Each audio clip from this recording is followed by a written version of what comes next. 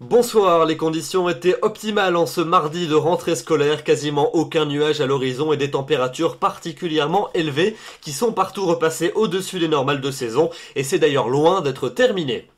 On va donc regarder cela ensemble. On commence par les euh, prévisions pour votre matinée de mercredi. Voyez plutôt cette carte. Un temps très ensoleillé pour tout le monde. Quasiment aucun nuage à prévoir. Alors quand même, comme les journées précédentes, quelques plaques de grisaille au lever du jour euh, près des côtes de la Manche, notamment entre la Belgique et la Bretagne. Même chose également dans le Val de Saône et puis également près du golfe du Lion avec un vent de temps assez sensible qui soufflera jusqu'à 60 km à l'heure.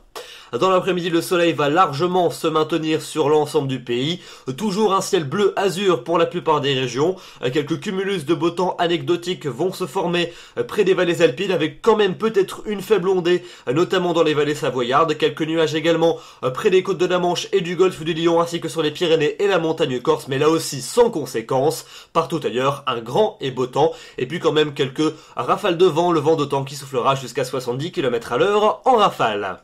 Les températures pour votre mercredi matin sont en hausse sur l'ensemble des régions. On retrouve des valeurs douces pour la plupart des régions. 10 degrés pour la minimale à Brest, 21 pour la maximale à Nice. Entre les deux, euh, comptez sur 13 pour Dijon, 16 à Paris ou encore 19 pour Perpignan. Et puis dans l'après-midi, on a des valeurs qui s'envolent littéralement, qui repassent largement au-dessus des normales de saison. On va atteindre la barre des 30 degrés sur de très nombreuses régions.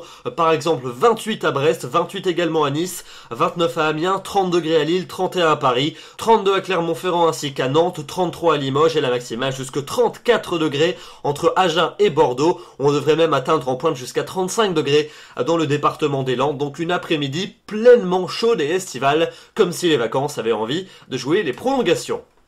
Et ça va donc se poursuivre pour jeudi, encore une journée très ensoleillée pour tout le monde, très peu de nuages à l'horizon, un risque d'orage en fin de journée euh, près des vallées alpines, une petite ondée qui pourrait également se déclencher euh, sur l'ouest des Pyrénées, et puis vous notez également quelques entrées maritimes à prévoir près du golfe du Lion, poussées par un vent temps euh, qui soufflera jusqu'à 50 à 60 km à l'heure en rafale, et puis des températures au moins tout aussi élevées que la veille, encore en hausse même dans les régions du nord et du nord-est, 31 en moyenne l'après-midi au nord comme au sud.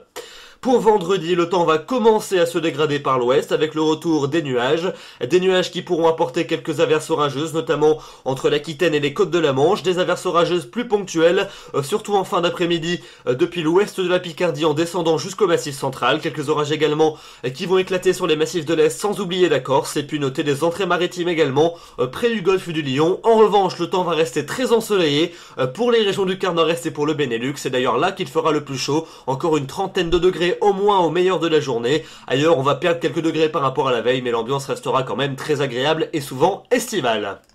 Là, ça va se gâter plus franchement pour votre week-end, samedi et dimanche. Samedi, la dégradation pluvio instable devrait se mettre en place des Pyrénées et du Languedoc en remontant jusqu'à la mer du Nord, surtout en fin de journée et plus particulièrement en cours de soirée. Elle se décalera ensuite en cours de nuit suivante vers les frontières du Nord et de l'Est. Les températures seront donc en baisse, même si elles resteront encore bien chaudes pour ce samedi dans l'Est du pays.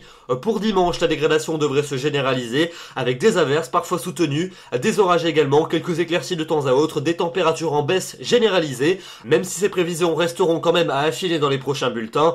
Et puis enfin, pour lundi et pour mardi prochain, eh bien, a priori, la tendance instable devrait se maintenir sur la plupart des régions. Lundi, de l'instabilité toujours marquée dans le nord et dans l'est du pays, en descendant jusqu'à la Corse, un peu moins d'ondées dans le grand ouest du pays. Et puis pour mardi, un régime d'averse toujours avec quelques orages, un temps généralement bien instable températures généralement proches des normales de saison. Un indice de confiance de 2 sur 5 puisqu'on ne sait pas encore véritablement où vont se produire plus fréquemment les orages et les averses. On en reparlera bien évidemment dans les prochains bulletins, mais retenez surtout ce coup de chaleur très marqué pour la saison à prévoir demain et jeudi.